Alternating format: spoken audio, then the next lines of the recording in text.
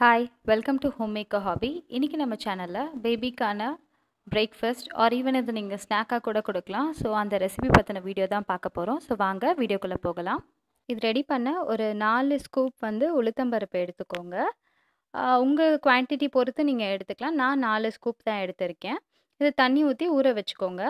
இது வந்து நீங்கள் இப்போ ஈவினிங் ஸ்நாக்காக குடிக்கிறீங்க அப்படின்னா மார்னிங் ஊற வச்சுக்கோங்க. இல்லை மார்னிங் பிரேக்ஃபாஸ்ட் அப்படின்னா நைட் ஊற வச்சுக்கோங்க.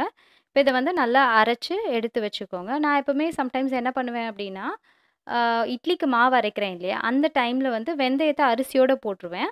ஸோ போட்டுட்டு அதுக்கப்புறமேட்டு அந்த உளுந்து அரைக்கிறேன் இல்லையா? அதுலேருந்து கொஞ்சோண்டு பாப்பாக்கு எடுத்து வச்சுப்பேன். இப்போ இது கூட வந்து நான் வந்து ஒரு பிஞ்ச் ஆஃப் சால்ட் வந்து ஆட் பண்ணிக்கிறேன். ஸோ இதை பிஞ்ச் ஆஃப் சால்ட் ஆட் பண்ணிவிட்டு நல்ல ஒரு ஸ்பூன் வச்சு நல்லா பீட் பண்ணி எடுத்துக்கோங்க. இந்த மாதிரி. ஸோ அப்போ தான் கொஞ்சம் ஃப்ளஃபியாக வரும். இது ஒன்றும் இல்லை. நார்மல் நம்ம உளுந்து வடைக்கு அரைப்போம் இல்லையா? ஸோ அந் அதே அதே கன்சிஸ்டன்சியில் அரைச்சா போதும். இப்போது ஒரு பாத்திரத்தில் ஒரு ஒரு டம்ளர் ஒரு சின்ன டம்ளரால் எடுத்திருக்கேன். ஒரு டம்ளர் பால் எடுத்துக்கோங்க. பசும் பால். இதை வந்து நல்லா காய்ச்சணும் இப்போது ஸோ வந்து இதை டைல்யூட் பண்ணுறதுக்கு கொஞ்சமாக தண்ணி விட்டால் போதும். அது உங்களோட விஷ் நீங்கள் டைல்யூட் பண்ணாலும் ஓகே பட் நான் எப்போவுமே கொஞ்சம் தண்ணி விட்டு டைல்யூட் பண்ணிப்பேன். ஸோ அப்போ தான் அது நல்லா ஊறும். இந்த அளவுக்கு தண்ணி ஊற்றினா போதும். ஸோ இந்த அளவுக்கு தண்ணி ஊற்றி நல்லா டைல்யூட் பண்ணிக்கோங்க. இந்த பாலில் ஒரு ரெண்டு ஏலக்காய் சேர்த்துக்கோங்க. இதை நல்லா இடித்து பாலோட சேர்த்துக்கோங்க.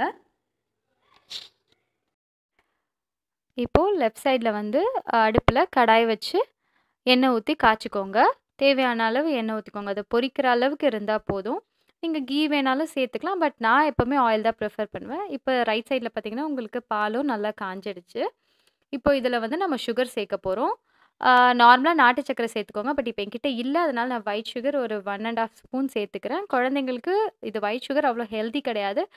பட் இன்றைக்கி வீடியோ பர்பஸ்க்காக நான் சேர்த்துருக்கேன் அவ்வளோதான் இது வேறு ஒன்றும் கிடையாது. நம்ம பால் பணியாரம் சொல்லுவோம் இல்லையா? ஸோ அதுதான். ஆனால் அது வந்து தேங்காய் பால் அரிசி இதெல்லாம் சேர்ப்பாங்க.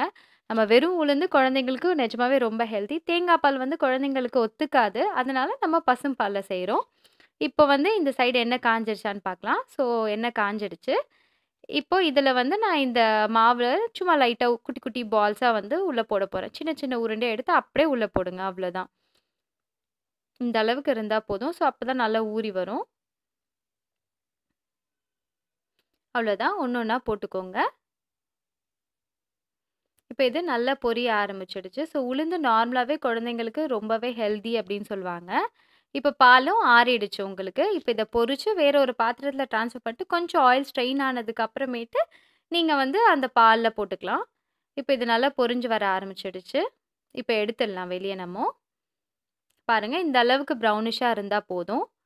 ஸோ இப்போ இதை எடுத்தாச்சு. எடுத்து கொஞ்சம் ஆறிடுச்சு. இது நீங்கள் இப்படியேவும் கொடுக்கலாம். ஸோ இது இது மாதிரி கொடுக்கறதுக்கு முன்னாடி நீங்கள் பெப்பர் சேர்த்துக்கிற மாதிரி இருந்தால் அந்த உளுத்த மாவில் பெப்பர் சேர்த்து அப்படியேவும் கொடுக்கலாம். இல்லை அப்படின்னா இப்படியும் கொடுக்கலாம்.